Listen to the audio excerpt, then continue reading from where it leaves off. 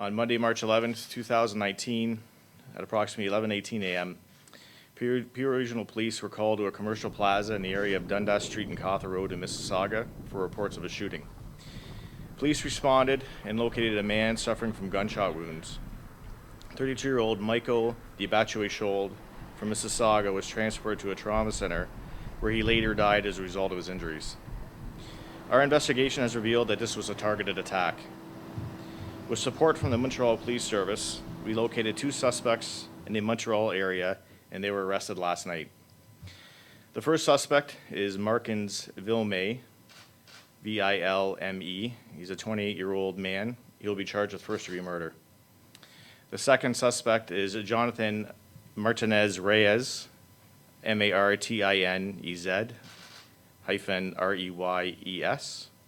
Uh, he's a 27 year old man. He will be charged with accessory after the fact and murder.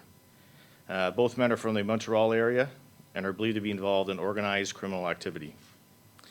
The suspects are currently being held by the Montreal Police and will appear in court in Montreal where they will be remanded into custody.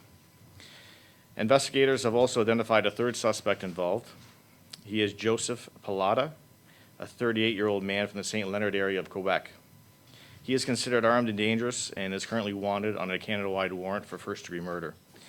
As previously reported in the media, uh, we located a blue Honda Civic which was located on fire in the area of Rymal Road and Tomken Road in Mississauga. Our investigation has determined that this was the getaway vehicle used by the parties responsible. Are Members of any criminal, uh, of biker gang? Uh, no, they're not. Are they, are they connected to a biker gang? Uh, there's, the investigation's ongoing, but I can say they're not uh, part of any uh, outlaw motorcycle gang. The, the victim, uh, what was his level of involvement within the Hells Angels? What does a full patch member mean? He is a member of the uh, of the Hell's Angels, the Niagara chapter, and uh, he. Uh, I don't have the as far as background and length of time he's involved in that gang. I can say he is um, a well entrenched member of that motorcycle gang.